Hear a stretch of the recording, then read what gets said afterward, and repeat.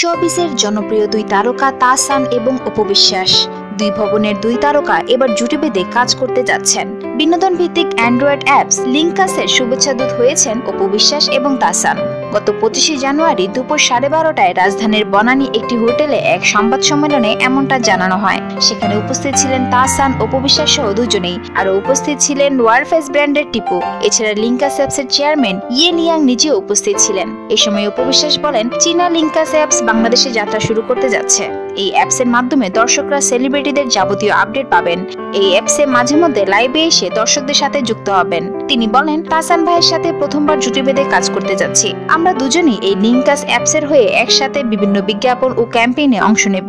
অ্যাপসটি যারা বাংলাদেশে এনেছেন, তাদের চিন্তাধারা অনেক স্মার্ট তাসান ও বিশ্বাস দুজনেই এক বছরের জন্য লিঙ্কাস অ্যাপসের শুভেচ্ছা দূত হয়েছেন। সুপ্রিয় দর্শক, বিনোদন জগতের আরও নিত্য নতুন খবর জানতে আমাদের চ্যানেলটি এখনই সাবস্ক্রাইব করুন লাইক দিন কমেন্ট এবং শেয়ার করতে ভুলবেন না। ধন্যবাদ।